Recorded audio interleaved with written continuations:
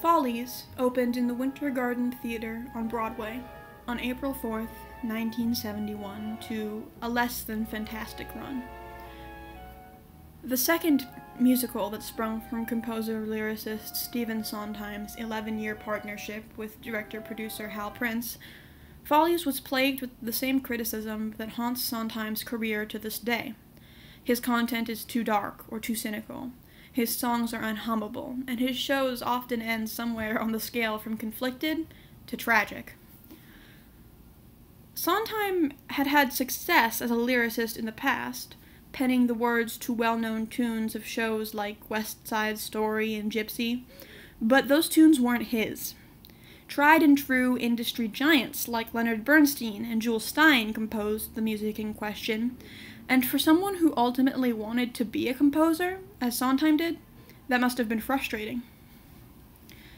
The ultimately solid career choice to start out as a lyricist had been the advice of Oscar Hammerstein II, who wrote the lyrics for some of the most successful and well remembered musicals in theater history The Sound of Music, Oklahoma, South Pacific, The King and I. He had arguably helped invent the Broadway musical as we know it with Show Boat. Hammerstein was a family friend and Sondheim's mentor.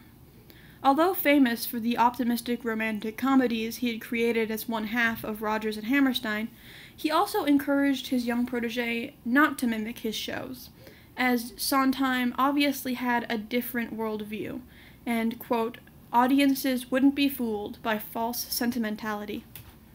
It seems that Sondheim took this advice to heart producing musicals that deal with the worst parts of relationships bitterness and loss and falling out of love. Although Sondheim's complex scores and flawed human characters earn him positive attention from critics, Broadway did and still does have a hard time selling his shows. Follies, in particular, was destined to push the envelope from the start. After all, a musical about the death of the musical is at best ballsy and at worst a recipe for disaster. Set in a dilapidated theater on the brink of being knocked down and paved over, the show takes place over the course of a reunion where estranged friends and former lovers mingle, stirring up old baggage, abandoned dreams, and the regrets of the people who once performed there. The book by James Goldman is little more than a framing device, as for the most part, Sondheim's music carries the plot and the show, as two couples in crumbling marriages, Sally and Buddy Plummer and Phyllis and Benjamin Stone, reflect on their collective past in the theater. Meanwhile, all around them, retired performers relive their glory days, bittersweet and haunted by the ghostly doubles of their younger selves. Follies is a concept musical, featuring interludes of various secondary characters performing their old numbers for the audience, and the mostly unseen ghosts of the theater's past sometimes echoing or interacting with the main cast's songs. As the show goes into its second act, however, songs become less and less integrated, and characters begin to directly address and interact with the ghosts until, until the Loveland sequence. The continuity of the show has already begun to crumble at this point, with past and present versions of characters freely interacting, when the fourth wall is shattered and the theater is suddenly rejuvenated. Showgirls stream on stage, and Loveland is performed in full spectacle, as it would have been in the theater's golden years.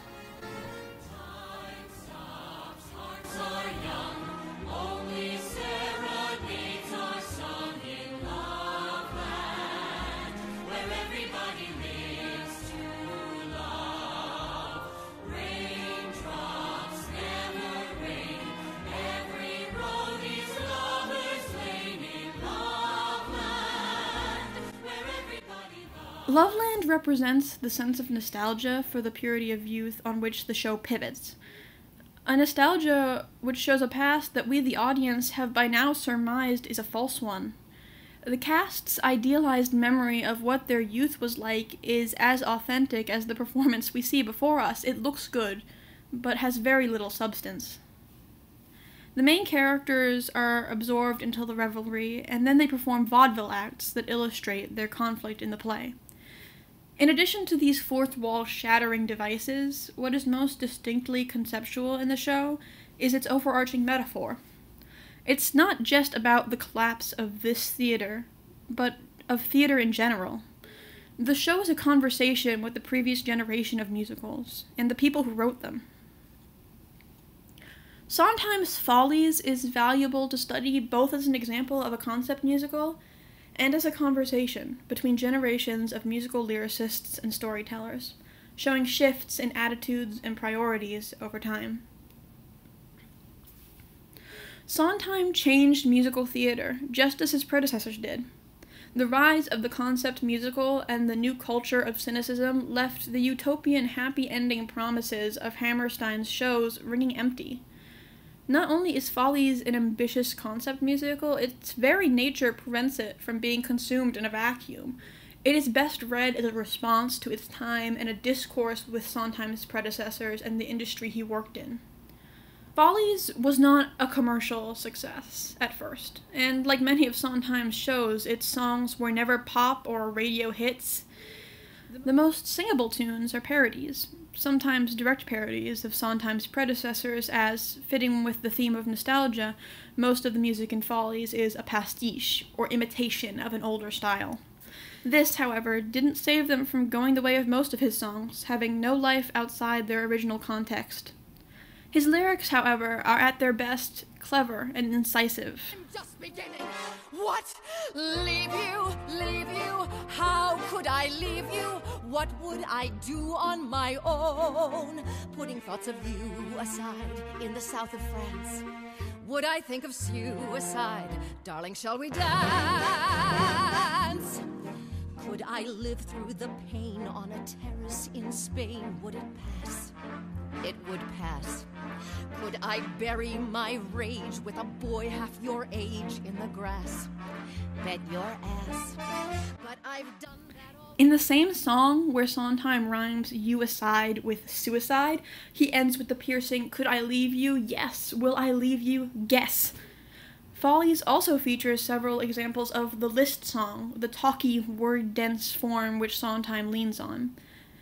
Often the tunes are intentionally strangely paced, meaning to stress the cadence or quality of the actor's speaking voice rather than their singing. You're either a poet, or you're a lover, or you're the famous Benjamin Stone. You take one road, you try one door. There isn't time for any more. One's life consists of either or. One has regrets, which one forgets. And as the years go on, There's also a breadth of styles in the show. The God Why Don't You Love Me Blues is a patter song referencing the comedic vaudeville acts that were popular in the 1920s, while the mature and weary I'm Still Here is a classic George Gershwin inspired ballad. According to Smith, quote, conventional wisdom for three decades had it that Sondheim's work wouldn't attract broad popular audience, end quote. Yet his work has continued to see revivals and often receives more favorable reviews in revivals than they did in their original run. Quote, his lyrics are often so complex they have to be heard twice, on the cast album after the show has closed, end quote. Corliss calls Sondheim, quote, the poet of domestic tragedy. Perhaps that is why, despite everything, audiences continue to come back to his shows despite the lack of chart topping tunes or happy endings. Sondheim did for the musical genre what Rodgers and Hammerstein did, to a new degree. While Rodgers and Hammerstein showed that musical theater could be human and genuinely emotional, more than just spectacle and farce, Sondheim eschewed their ultimate happy endings and chose instead to take musicals into the muddier and more difficult aspects of human emotion. Off, here they come, those beautiful girls. That's what you've been waiting for. Never fashioned a flower so fair. No rose can compare, nothing respectable, half so delectable.